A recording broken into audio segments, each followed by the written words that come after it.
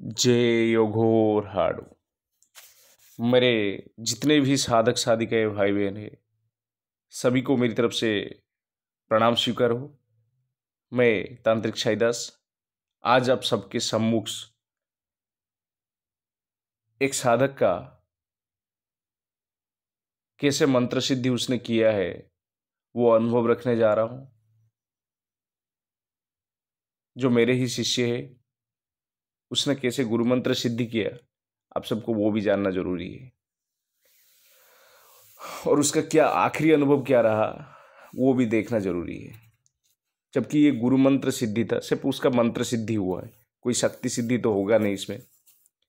तो कैसा इसमें अनुभव रहता है? फिर आगे इसको क्या करना चाहिए?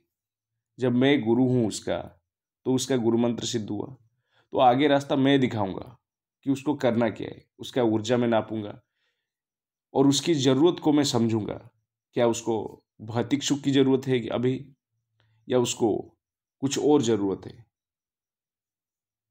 क्या वो सटकर्म सीखना चाहता है?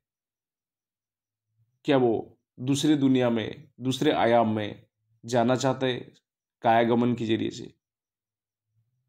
क्योंकि इसका जो पहला पड़ाव था, इसने अच्छे से सुकून से पार कर लिया। क्योंकि गुरु भक्ति ही सब कुछ करवाता है। चलिए। पहले साधक हमारे से कब से जुड़े थे, वो देखते हैं। ये जो साधक थे, हमसे जुड़े थे जून अठारह, दो हज़ार बाईस को। पहले इन्होंने जीन साधना लिए थे। ये साधक है।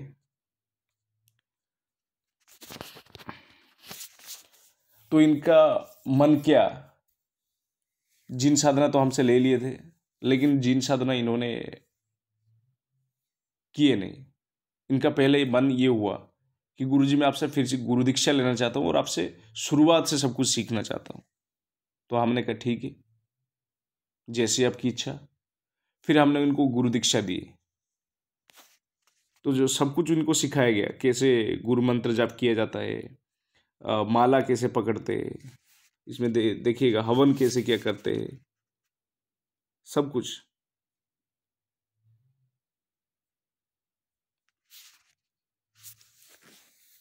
मंत्र जब किस तरीके से उच्चारण करना चाहिए, किस तरीके से जपना चाहिए उपांशु, मौखिक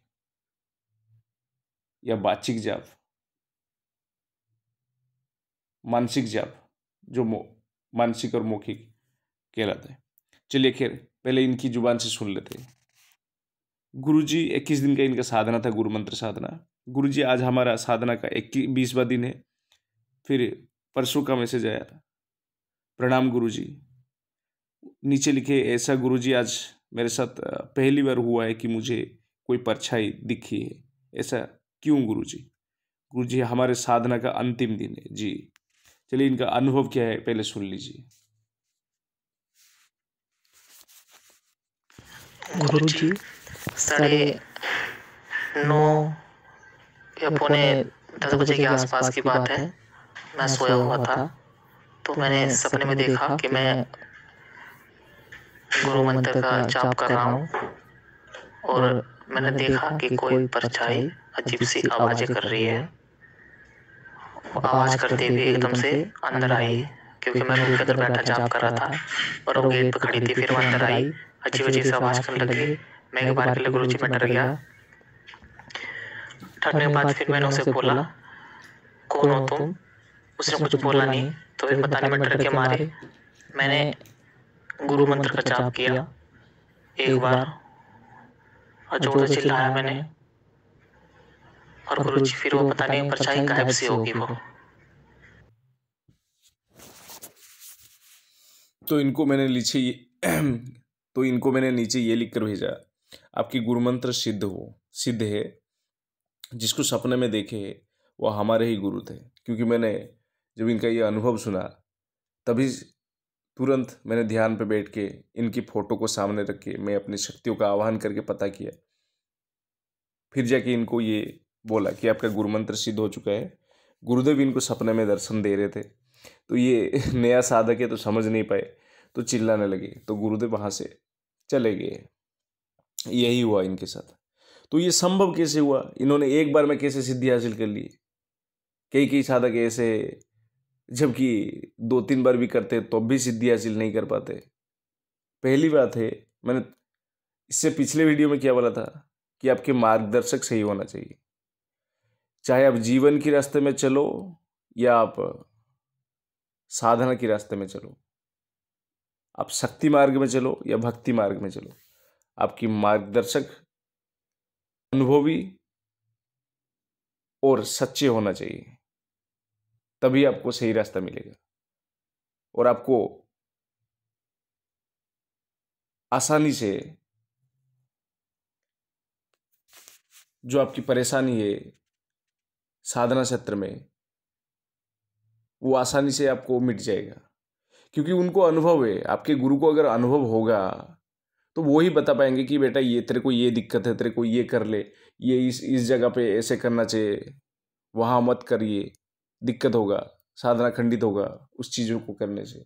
क्योंकि उनको अनुभव है, इन्होंने कई बार प्रयास किए तो गुरु हमेशा अच्छे से चुनकर बनाइएगा, सही जानकारी व्यक्ति को बनाइए। दूसरी बात है, शिष्य जब गुरु बना लेता है एक बार, फिर शिष्य का कोई काम नहीं रह जाता है, सब काम गुरु का होता है। गुरु जो आज्ञा करेंगे, शिष्य उसका पालन करे। पहली बात है दूसरी बात यह है, गुरु जिस दिशा में आपको ले जा रहे हैं, आपको उसी दिशा में चलते जाने हैं। क्योंकि गुरु ही जानते हैं कि आप क्या कर सकते हो, क्या आपको चाहिए। और किस तरीके से आपको वो मिलेगा।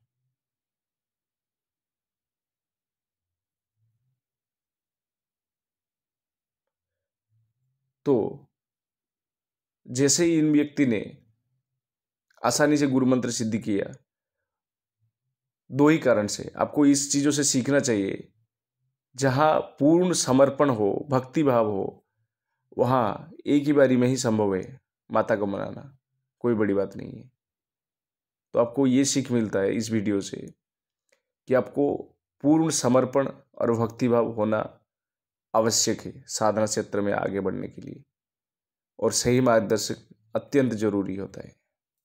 जय घरालू